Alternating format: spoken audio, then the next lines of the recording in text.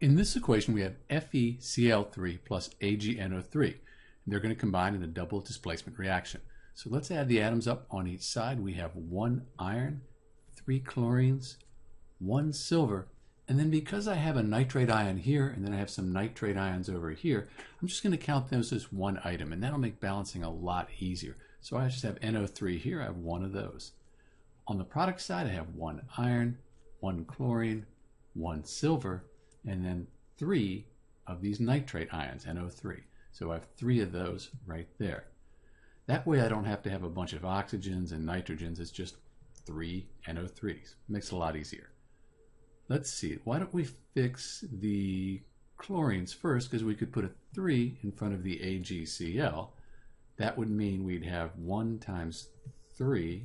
That would give us 3 Ags but it would fix our chlorines because we have 1 times 3 here. That would give us 3 chlorines. Hmm. If we put a coefficient of 3 in front of the silver nitrate, AgNO3, that would fix the silvers. 1 times 3. That gives us 3 silver atoms.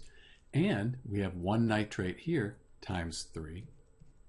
That gives us 3 nitrates.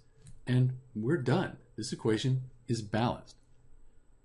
This is Dr. B with the balanced equation for FeCl3 plus AgNO3. That's iron 3 chloride and silver nitrate. And thanks for watching.